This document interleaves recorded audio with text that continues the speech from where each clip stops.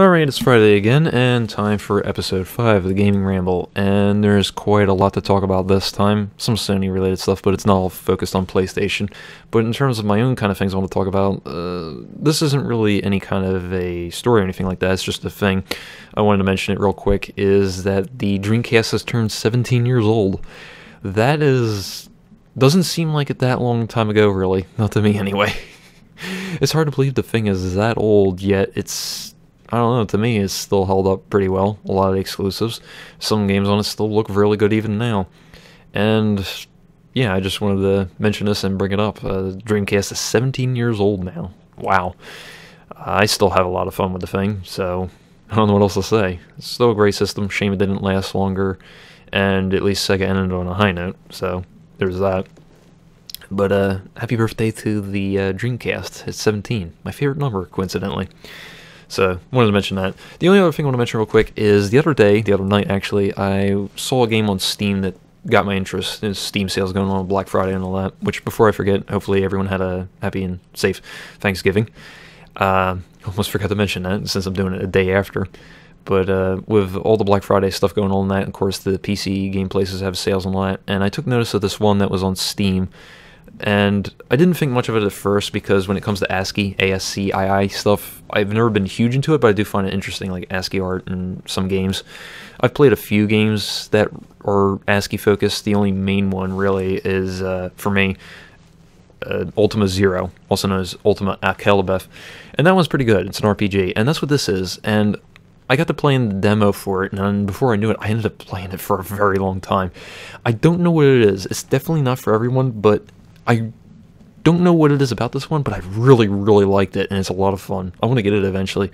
It's called Sanctuary RPG, and it's actually got a lot going for it. Again, it is an ASCII RPG, so visually it's not all that much there, so it's one of the reasons it's not for everyone.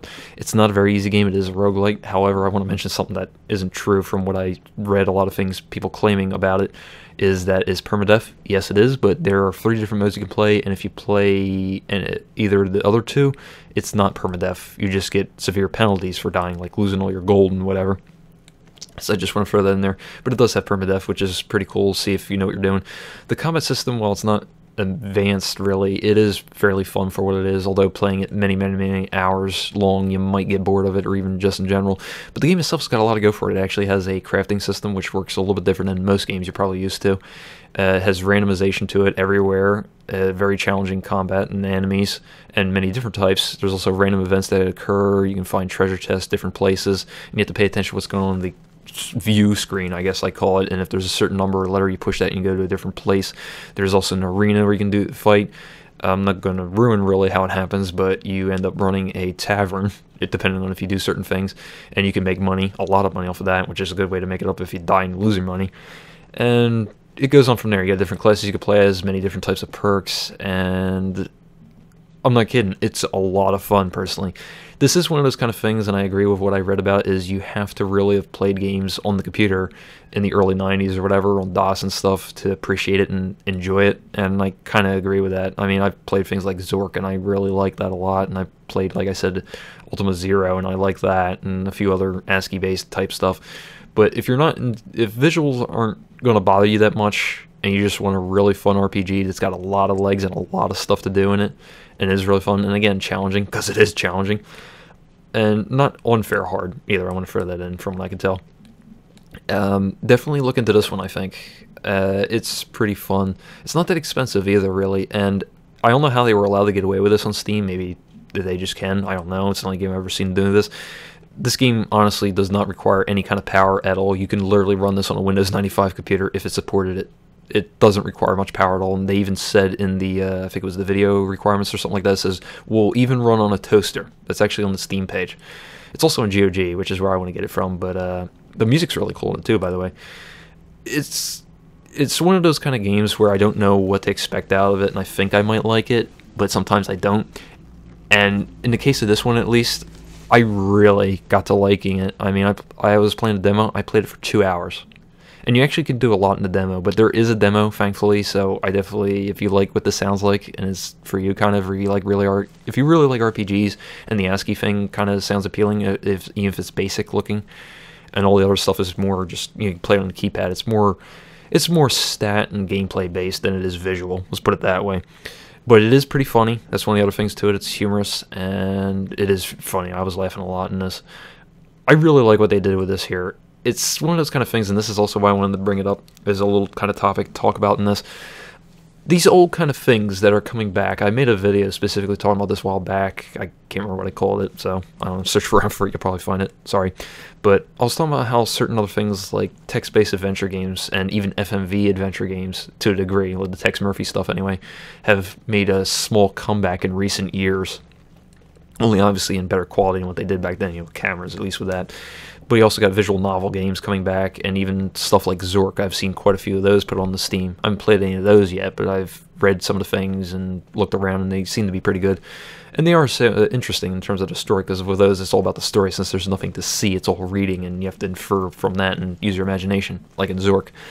But this one is one of those kind of games that really impressed me for that, and is with the ASCII thing especially, where I think you know it's a game made now. I think it came out last year actually still recent, and it goes back to something that was, you know, the heyday back then. It was the thing, only it's not now. We've gone way past that, obviously. But you can still make a game like that fun that's what I think I like about it, and they put it together well. At least to me, I think I really like it. I want to get the whole thing and play a lot more of it. It's fun, and there, like I said, there's many different classes, and there's a lot of different stuff going on, and it is fairly open ended. You can do what you want in it. You're not really that locked down to a linear path. We're not talking Fallout or uh, Elder Scrolls levels of freedom, but or even Grand Theft Auto, but you got quite a lot you can do in this RPG, and it has a lot going for it for the price and all that. Again, considering it's an ASCII art uh, or ASCII RPG. So, yeah, if you're familiar with that kind of stuff from the past or you think is interesting, definitely try it out. Like I said, thankfully there is a demo on Steam, so go for it. It takes up like 20 megabytes or is it 200 megabytes, and your system requirements can literally be dirt and run it. no problem at all. Full screen windowed, whatever works fine, and you can play the whole thing with the number, uh, the keypad. So it's fantastic. No mouse at all which is fine, but you don't really need it. Anyway, so that's all I want to talk about that one for a little bit, as well as the Dreamcast turning 17. Now we're actually going to get to the show proper here. Alright, and the first story is Sony related, and it has to do with the Remote Play feature. And Sony has officially announced that the Remote Play feature for the PlayStation 4 and Vita is going to be expanding, which they mentioned a while back that they wanted to do that. But it will be coming to PC as well as Mac. Yes, so if you have an Apple computer, you can still use this. So that's nice. No word as of yet when it actually is going to be rolling out, of course, but uh, that it is coming. So that's basically what they were saying here. Anyway, the uh, PS Vita gameplay streaming functionality is set to expand to the PC as well as Mac. Shuhei Yoshida has said on Twitter, and quote, Some people asked if we were planning to provide remote play functionality at PC, and yes, we are indeed working on an official application for PC as well as Mac. So, yeah. This uh, official announcement actually is only two days after. Uh, this is the funny thing about this. His official statement uh, about this actually coming, and you, it's no doubt this probably was in response to that. I think because obviously they want the, you to use their real thing instead of an official one. But two days prior to this official announcement coming out, someone whose internet handle is known as Twisted. I guess they like Twisted Metal a lot. Get it, Sony. Uh, anyway, uh, Twisted announced an official an unofficial remote play application program for it. So, uh, coincidence? Maybe, maybe not. Who's to say? Anyway, Sony uh, launched the remote play feature in 2013 during the release of the PlayStation 4 and as an alternative way to play PlayStation 4 games for a second screen. Through wireless, of course, you have the Vita and you can play not every single game, but a lot of the different PlayStation 4 games on your Vita. But of course, you're limited in terms of range and all that. But from what I've talked to a few people and looked into myself, it apparently works very well. Personally, I just want to mention this I have no use for such a thing or even desire to. And that's about all I have to say about on that front. But at the same time, I do think it's a good idea doing this. I mean, more functionality is never a bad thing. Especially, I got to give them credit for also including Mac in this because usually when it comes to anything gaming related, uh, even to this day, while it has improved a lot, both in terms of playing games specifically on a Mac and so on and so forth, it's nice that they're also including that so people who don't have a Windows computer can still use it. So I give them credit for that one. It's nice to see that they're not leaving out Apple users in that, um, as I'm sure many of you who are Apple users would agree. because quite a few, not many, but quite a many do seem to like using the remote play feature, and it does seem, I give it credit, it does seem pretty cool. I mean, even found a way to make Fallout 4 work on it, so hey, why not? More power to you. Anyway, so like I said, there's no word yet on how it's going to, when it's going to come out, or even how it's going to work for PC as well as Mac users, though, at this point. So it probably won't be that much longer, and they'll say something about it or even come out with it, but it's probably they're waiting until sometime near the beginning of 2016 to roll this out, I would imagine. They're still probably trying to iron out and work how it's going to work. Uh, that and it's going to have to be different for both uh, Windows as well as Mac because they different operating systems. So there's that too. But at least they're coming out for both of that. Nothing about Linux, by the way, if you're wondering. Uh, I was curious about that myself, but with Wine and things like that, you probably will be able to make it work just based off of the Windows version. Most of the time, you can. So uh, that would be what I suggest trying to figure out when the time comes. Anyway, uh, just one last thing. Uh, by comparison, Microsoft has something similar to this, which already is out uh, that came out a, while, a, little while ago, where you can stream the Xbox One games to the Windows 10 computer you have. So they have something very similar. It's no surprise they're doing this. So uh, yeah, uh, hopefully it works out well and it'll all be nice and good for those of you who like to use and want to use remote play.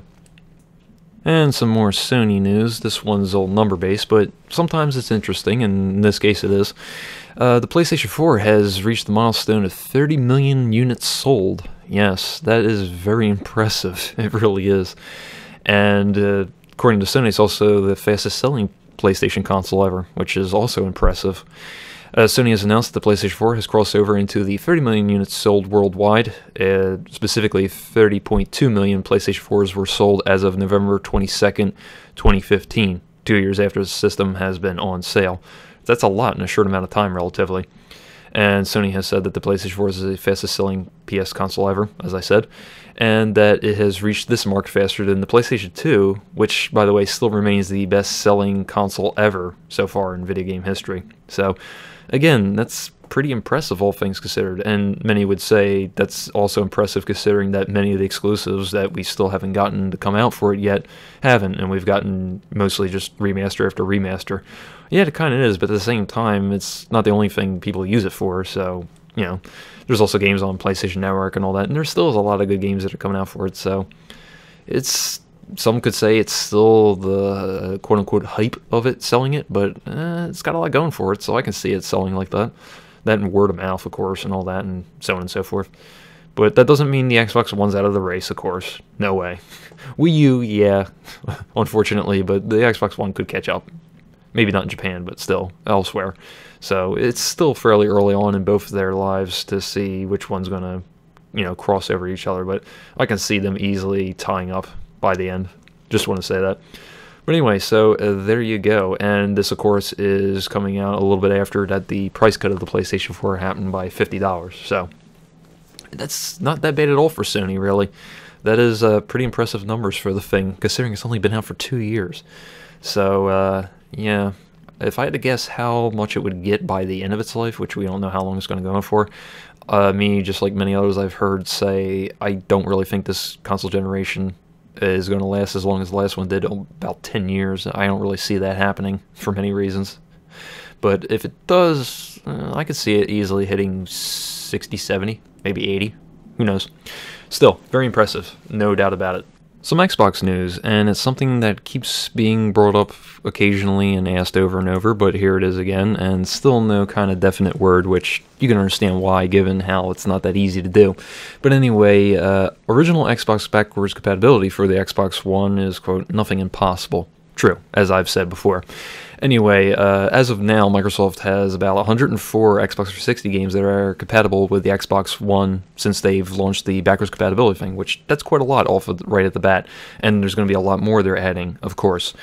But yet again, the question has come up if original Xbox, that is the actual first Xbox, support will be added, which, even though it's much older than the Xbox 360, it's not hard to see why many would want that. I mean, I would want that too if I had an Xbox One, because, well, personally, I really like the uh, original Xbox, and there's a lot of great games for it, exclusives as well, that never really got a re release or they're only on the original Xbox, so there you go. Anyway, obviously they would be using emulation, much like what they're doing in the Xbox 360, but just like with that, it's not that easy, so that's probably why it hasn't happened yet. Anyway, uh, Mike Ybarra, who is the director of Xbox Platform, was asked and was on the Inner Circle podcast. Uh, not one I'm very familiar with, I'll be honest. But uh, he said when he was asked about it, Oh boy, you sound like Phil Spencer, head of Xbox, uh, talking to me. He tweets quite a bit about the original Xbox. I'll say nothing's impossible. Right now, we're very focused on trying to get as many Xbox 360 games as possible on the Xbox One as we can. We're not looking at original Xbox games on Xbox One just yet. But even from that, what you said right there, it's not out of the realm of impossibility. They could do that. But right now, they want to focus on what they've already promised, which I can't fault them for that. That's what they should be doing once they have the Xbox 360 backwards compatibility, uh, you know, pretty well down, and they have quite a lot on there, then they'll probably start talking about or seriously considering doing the original Xbox. But it's also possible that they might not. Who's to say? But it would be cool if they did. I mean, think about it. You all there's only three Xbox uh, systems at this point. The first one, Xbox 360, and then the Xbox One. If you could play games from all three on the most recent one, that's a really good deal and it's a very attractive offer as well for people and that could be one of those things that might sway someone from whether or not they want to get the PlayStation 4 or the Xbox One. Well, with the PlayStation 4, I can only have a certain amount of backwards compatibility if I want to mess with PlayStation now. But if I go with the Xbox One and as Xbox uh, original Xbox backwards compatibility as well as Xbox 60, well, hell, I got a whole ton of games I can play then it's one of those kind of things, you know. Even I would say that's definitely a thing to look into. Hell, it might be more interesting to me because I love the original Xbox. Again, though, just like with the Xbox 60 backwards compatibility, it's all about how well does it work. So, yet again, bringing this up as always, but hasn't changed and it's not going to anytime soon.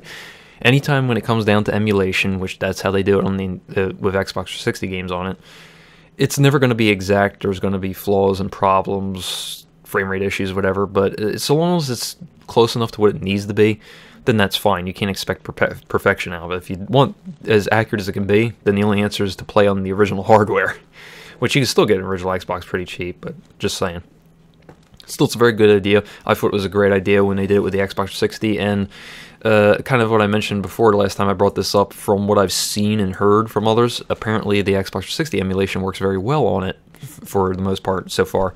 So I can easily see they could do the original Xbox. It might be older, but it's also a lot less demanding on the hardware. It's a lot easier in some ways, if you want to put it that way, to emulate because the Xbox 60 is much more advanced, more powerful, so it requires a lot more work to do it. The good thing, though, and this is one of the things I always liked about the Xbox ever since the first one, is it runs on DirectX. It uses DirectX. It's much more of a computer type architecture than some of the other ones, like what Nintendo does.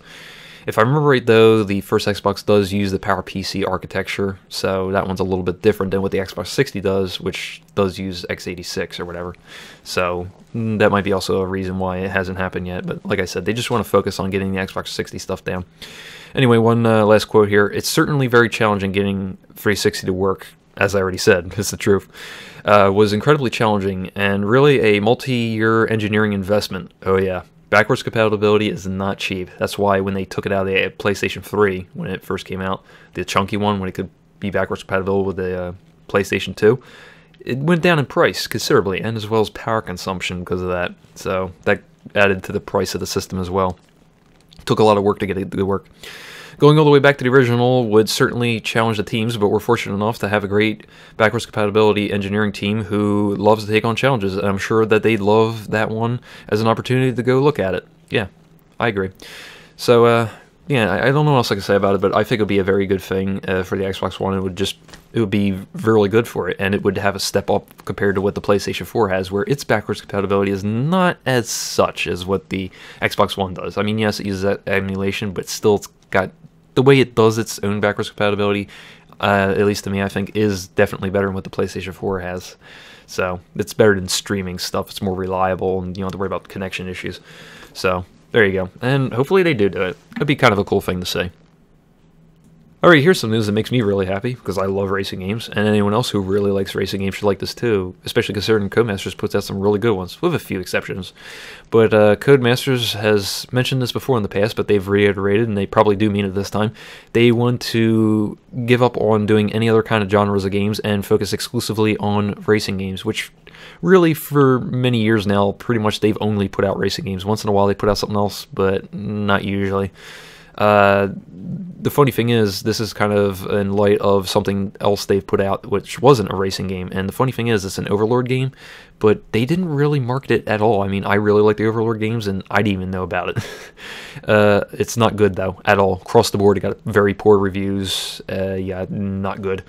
Uh, it's called Overlord Fellowship of Evil. It did not fare well at all, and this, I guess, is kind of what woke them up to realizing, you know, we do racing games a lot better, and, you know, I kind of can say that too myself. They do racing games a lot better, and they actually have currently a racing game right now going through early access on Steam. Still in early access. I think it's set to come out of it not long from now, but it's called Dirt Rally, which I'm actually looking forward to. I'm going to get once it's out of early access myself. Just wanted to mention that. Anyway, I got a quote here. While it's been great to explore projects outside of racing, we know our hearts belong to racing in all its many glorious forms, a Codemasters rep said. The success of Dirt Rally's early access program, the one I just mentioned, has been incredible. F1 2015 was very successful, reaching number one in many territories. That's true, but I did hear got a lot of complaints with it. Regardless, uh, we've recently announced that Micro Machines will come to mobile, and we have a strong roadmap ahead of us that keeps racing as its razor focus. They've actually said this before, by the way, in 2012. In fact, I actually have the quote here. I'm going to tell you. Codemasters said something similar. Yes, uh, so this is not the first time. Like I said, they've mentioned this. Here's what they said back in 2012, early 2012, about when they were uh, going to drop the action game genre. Maybe they should have done it then. Yeah, just saying. Anyway, uh, here's what they said back then. We have kept our reputation for delivering best-in-class racing games, Codemasters said to MCV back then. And best-in-class racing games is now our razor focus going forward. There's that word again. They keep like using that phrase. It's kind of like a buzzword for them, I guess. Uh, yeah, anyway. However, at the same time, what I mentioned in the beginning of this, how some of the racing games are a little kind of off. Uh, here's a couple examples of that. Um, there was one that came out in 2014 for the computer on Steam. I think it was only on the computer. Could be wrong about that, but anyway, it was called Colin McRae Rally. And me, just like many others, were excited for a new uh, Colin McRae game. But uh, the excitement was short lived. Turns out the game was not very good at all in every respect. It was a very lazy mobile port. Yeah, it looked bad, it played bad, and it just it ran bad. Was not a true dirt game at all. And fortunately now Dirt Rally is coming out, so yeah, that's what it should have been. But that one wasn't good at all. It was a pretty much a complete disaster on Steam. It really is and not really worth bothering with at all. And also, just to mention it, the most recent two F1 games, uh, they didn't do horrible, but they didn't do really all that amazing either. So, like I said, some of their racing games are a little off sometimes. But by comparison, uh, just to go back to Grid, uh, that series, the last one, the most recent one they released, which I also have, I like it a lot, uh, Grid Autosport, that one did pretty well overall. And in some ways, personally, me and many others like it more than Dirt uh, Grid 2. I mean, which that one was really good as well. So Grid Series has been pretty fine all ways. Uh, they do really good on the F1 games, and as far as the dirt games go, with the exception of that horrible mobile port one, uh, they're turned out really good too. Ever since the first one in uh, 2007 when they took it over. So yeah, I don't see this as a bad thing really. I mean, there's other developers that specialize in certain types of games, and very rarely will they go out of that kind of comfort zone. And usually when they do, it doesn't work out that well. I mean, think of it this way: it's like id id Software. They pretty much specialize in first-person shooters. That's what they've always done. They did a few other things like Commander Keen, but first-person shooters is what they know, what they do great. And you got certain other ones that they pretty much have RPGs locked down, and so on and so forth. And then you do have some that are really good at different genres. I mean, uh, for example, Nintendo, they can do a lot of different genres. You have racing with Mario Kart, you have platformers, obviously Mario and some of the other series and you have a lot of other things. You have even party games with them. So you got some others that can do other genres and they handle them very, very well. But there's nothing really wrong, I think, with a developer, uh, and in this case also publisher. They do both. Uh, going at one type of genre if that's what they're good at and that's what they feel comfortable with doing and that's what they're skilled at. Uh, there's nothing wrong with specializing in something like that, especially when it comes to games. No problem with that really at all. It would be nice to see them, however, I want to throw this in, if they would come out with a different type of racing game. I don't mean like the way it works, but maybe something uh, separate from the yearly F1 game or a dirt game occasionally and a grid game. Maybe something different, their own kind of uh, spin on things. It'd be interesting to see. Maybe they could resurrect the game kind of like Blur. I'm sure many of you might remember Blur. It's just a shame that game didn't do better. It was basically, as it was called, an adult Mario Kart. Yeah, it was uh, the last game made by Bizarre Creations, who also known by uh, for the Project Gotham Racing series. But that's just kind of an example I'm thinking of. Is if they're going to focus only on racing games, it would be nice to see them to try to do something different, maybe even out of the box. I love racing games, and as much as I do, I've played all different kinds. I I'm pretty much myself anyway. I'm open to different types of racing games, and some I've played which I thought were kind of very strange and I didn't think I would like. I did so if they came out with something like that, I'd be interested in seeing it. But you know, so long as they keep uh, up with what they have, that's not bad either. But uh, I think this is definitely going to help them if they would just forget about the other kind of stuff if they actually stick with it this time and only make racing games because yeah I, I, agree they they do handle racing games a lot better than some other things again overlord 1 and 2 really good they turned out well but there were some problems with them but racing games for the most part they kind of have those on lockdown they're really good at those so in a way, you can kind of think of them as Polyphony Digital, which they pretty much only make racing games. They do some motorcycle ones too, but eh, maybe that'd be a cool thing to see uh, Codemasters do. They really haven't done anything with motorcycles specifically. Maybe they can make a really good motorcycle only racing game. Even I'd play it. But uh, yeah, so uh, it's a good move for them, and I uh, wish them the best. And I look forward to more of their racing games because I really like them a lot. Alright, in a story that's much nicer, a large collection of Infocom, old game company, documents has been added to the Internet Archive. Yes. Technology archivist Jason Scott has posted a large amount of Infocom company documents to the Internet Archive, which he came across when he visited a computer game developer, Steve, and I'm always bad with names, Merketzi, I think that's how you pronounce it, who has worked in the industry since the 80s. He's a pretty well respected one as well.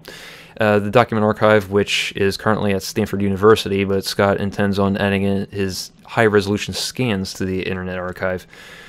The uh, initial set is 4,000 pages of material. Yeah, a lot of stuff. And uh, the documents of all that include things such as employee exchanges, map iterations, puzzle designs, artwork, test drafts, playtester letters, and so on and so forth. A lot of other stuff.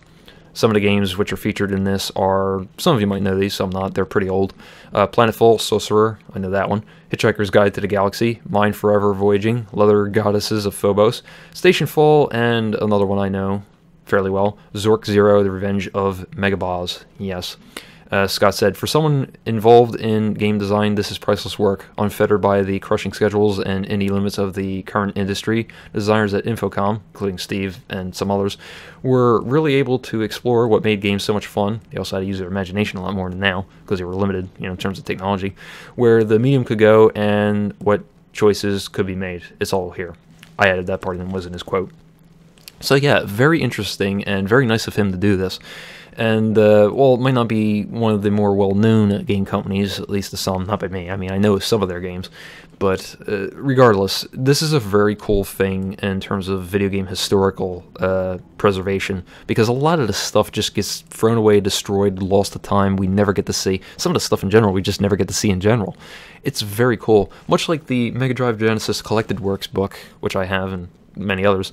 You got stuff in there that you never get to see anywhere else because they're in Sega's archives in Japan and they don't let just anyone in there. It's kind of the same as this. This stuff is very cool to see, and it's nice that, everyone will be able to get to see it as well in the Internet Archive. It's very nice, and uh, high resolution scans as well, so it's not going to look like crap. But like I said, uh, the thing I have with this is I think it's a very good thing because a lot of stuff just gets it's lost. It's lost of time, it gets destroyed, or it's just gone. So it's nice to see that, and uh, so much of it as well uh, has been uh, kept around and preserved, and will be now thanks to the internet. So that's a very cool thing. Would like to see this uh, more often with uh, some other game uh, companies as well, not just Infocom. So, you know, imagine if they did this someday with Nintendo. I mean, Nintendo's still around. They will be for a very, very, very long time. But hopefully a lot of that stuff is kept around so someday you can add that in there because someone like Nintendo, tons of interesting stuff and cool things like that. Again, just to bring it up since I mentioned Sega, it'd be cool if someday they were willing to do that with the stuff they have in the Sega archives, because there's a lot of really awesome stuff that we just have never gotten to see before. Once in a while, some of it leaks out, and you know, it's good for preservation. It's history, just like any kind of history. So uh, yeah, definitely really good, and glad he did this. Very, very cool indeed. That's why I had to talk about this one because uh, it's a good thing. Alright, got an interesting game announcement to talk about here, and I also included down in the links as I usually do for the articles, as well as a trailer for this so you can see it yourself. But uh, V-Blank Entertainment, the ones who made the 8-bit GTA parody styled game Retro City Rampage, which I really like a lot, has announced and revealed their next game, which is a sequel to Retro City Rampage actually. It's called Shakedown Hawaii, which is 16 bit, which is uh, another reason I'm really excited for it because I like 16 bit a lot more than 8 bit personally. Anyway, Vblank Entertainment has revealed their next uh, game, which is a sequel to the popular Retro City Rampage very recently. But this time it's going to be a 16 bit style game compared to the 8 bit one of Retro City Rampage, and it takes place 30 years after Retro City Rampage, where you yet again play as the main character who's only known as the player again, who comes out of early retirement to rebuild his neglected corporate empire. yeah, the game's to be a lot more funny than that is, but of course. Much like Retro City Rampage parodied Grand Theft Auto and classic games of pop culture, Shakedown Hawaii is going to be doing the same, which is good because that's one of the things that made Retro City Rampage awesome. And there was a ton of references and jokes in there. Some say too much and it relied on it too much, and the game itself was fairly short, even though it's open world and you can do whatever you want. I tend to kind of agree, but you know, it, there was a lot going on there. It was decently challenging and all that. So this one's going to be much of the same like that. Again, just 16-bit really. I hope they also throw in the cool filters like they did in Retro City Rampage, but we'll see when it comes out. Anyway, uh, this is something that's also really cool about this new one. Another new thing for this is it's also going to be open world, of course, but it's also going to have indestructible environments as well as supercharged weapons. So that sounds awesome. There's some pictures, uh, and you see in the trailer using massive flamethrower and stuff like that. So the destructible environment sounds pretty cool. I like that alone. You even get that in some other games. So it's nice to see that because that wasn't in uh, Retro City Rampage. Sometimes you could destroy stuff, but it was more scripted, and you could just do whatever you want. So that sounds really cool. And it's in development right now for the PlayStation 4, the Vita, and the PC. Uh, there's nothing, any kind of conclusive word on Xbox One. Uh, the only kind of thing that developers said was doesn't want to get tied down to any kind of console exclusivity thing. So I guess that's the only way they can get around saying that we haven't made any kind of deal to put it on there yet. Because as you know, when you put games on console, you have to pay a, a certain kind of licensing fee for you to put on there. Whether it's Microsoft, Nintendo, or Sony. So maybe they just didn't get around to that yet with Microsoft. Who knows? I can see it being on there because Retro City Rampage was pretty much on anything and everything. So why not? Also did say something a little bit more specific is that while there's don't know which one yet, I guess that could even include the NX, depends how long it takes, but uh, not targeting any specific Nintendo platform, but it will be definitely at least on one, and uh, said that targeting the 3DS, which I could see that because Retro City Rampage worked well on the 3DS, so why not? So yeah, uh, definitely a surprise for me at least, and I really liked Retro City Rampage. There's some frustrating parts in it for sure, but it was a ton of fun. I really liked it a lot, and uh, I'm really looking forward to this one. In some ways, much more because I like 16-bit stuff more than 8-bit. So uh, I'm hoping the jokes and stuff like that relate to that. I'm hoping for a lot of Chrono Trigger jokes. That would be really cool. And of course, other 16-bit era games. I guarantee you, there's going to be at least 10,000 Sonic references in some way, shape, or form. In fact, if the Speed shoes come back, I'd be very shocked if they weren't. They didn't look like Sonic shoes because why not? Anyway, so yeah, and not to mention the cameo characters, which were in Retro City Rampage. So who knows what ones they'll throw into this one? I mean, Minecraft Steve Guyhead was in uh, Retro City Rampage, so there was also a couple other surprising ones. There was like Super Meat Boy and Bit Trip Runner guy, and there was also Epic Mealtime people. I don't know. So who's to know what they're going to add into this one? But I'm very much looking forward to it. Probably get on the computer myself because I got Retro City Rampage on there too. So uh, yeah, I'm really looking forward to that one. And now we come to the end, and this is kind of an odd thing to end on, I admit, but I had to talk about this one because the only thing I could think of as soon as I saw it was like other finally, and why did you wait so long to do this, Nintendo? You should have done this the year the Wii U came out. Because, well, let's face it, whether it's by accident or some other reason, controllers break. They do. And uh, the Wii U gamepad's got a lot going on more than just normal controllers do, especially the screen. But if you can't tell I'm already getting at, Nintendo has finally decided to offer Wii U gamepads to be sold individually, only in Japan. Yeah, that's the other thing you kind of can see coming a mile away, as always with them. But again, why did they wait so long? I mean, it's, it's practically the end of the thing's life. It's strange. Anyway, uh, yeah, only in Japan, which you can get them individually from Nintendo themselves, by the way, so they don't let anyone else sell them, I guess. Uh, for 12,800 yen, or when you convert it to US dollars, that's 104 US dollars. Yes. So either way, it's uh, more expensive than either the standard uh, PlayStation 4 DualShock 4 controller or the Xbox One controller, which I have one sitting behind me. Yeah, just saying. But that's not surprising at all because it's got a sc- screen in it and does a lot of other things. So eh, it's not cheap to produce. Still, I, was expecting it to be a little higher than that. Still, it's not that bad. But still, at least you can get a replacement for it only in Japan. Yeah, uh, there's another thing I want to kind of mention here too, just to remind people. Uh, the Wii U, to this day, ever since it first came out, can only use and connect to one Wii U gamepad, not two. They actually mentioned a while back, and I don't know if everyone remembers this, I barely remember it, but they actually said they were looking into maybe uh, some way they could have it so you can use two Wii U gamepads at most, two player. But that never happened. Apparently, either they uh, didn't work out and they just never said anything about it again, it wouldn't work well, or they just forgot about it and gave up. Something. I don't know. But they even mentioned back then, just this in also, is that the Wii U gamepad, because how it works, actually does take some power away from the Wii U, so maybe it's not strong enough to have two of them at the same time. I can see that. But the, as many people, uh, people wanted to be able to use two different gamepads, one for one player, two player. But at this point, it doesn't seem like it's that much of a big deal, so I guess it'll remain that way. But again, at least you can finally get a replacement Wii U gamepad. Now, the thing didn't make any mention of this, but the thing I wonder is if you were to buy one from Nintendo Japan and pay even more to have it imported, could you use the Wii U gamepad uh, from there on one here if you wanted a replacement? Uh, the only reason I say that is because personally I don't really know if it is region locked in some way, and Nintendo does do region locking still.